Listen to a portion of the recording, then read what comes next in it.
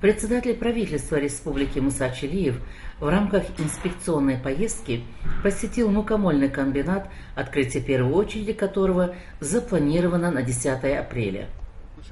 Генеральный директор Хусейн Булгучев проинформировал премьер-министра о текущем состоянии дел.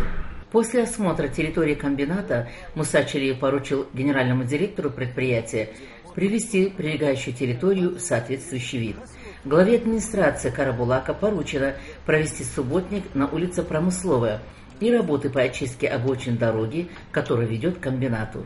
Мусачарев обратил внимание на факты самовольного захвата придорожных участков и расположенных торговых точек вдоль трассы.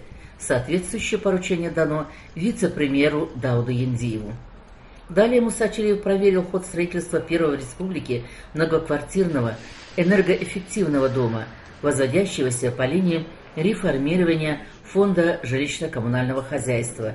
Подрядчики сообщили, что основные работы завершены на 80-90%.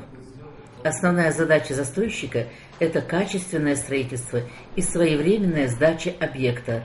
Необходимо помнить, что мы строим для наших жителей, сказал председатель правительства Ингушетии после осмотра строительной площадки, квартир и прилегающей территории завершилась инспекционная поездка посещением детского садика Мялхы, где Муса Челиев проверил условия пребывания детей.